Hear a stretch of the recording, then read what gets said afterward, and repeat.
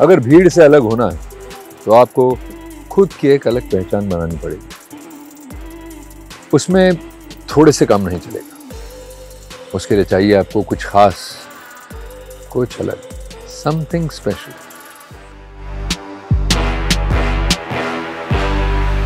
Shilajit gummies जो आपको खुद से बेहतर बनाते इसमें है शिलाजीत के सारे गुण, लेकिन एक बहुत ही डिलिशियस और कन्वीनियंट फॉर्म इससे आप बनेंगे एनर्जेटिक सुपर स्ट्रॉन्ग और मेंटली शार्प हमेशा रिलैक्स फील करेंगे एनर्जेटिक फील करेंगे और डोजेज सिर्फ़ दो शिलाजीत गमीज रोज खाइए और स्फूर्ति भरे रहिए। India first ever shilajit gummies brought you by S K Tobo treats royal लोगों की रॉयल पहचान।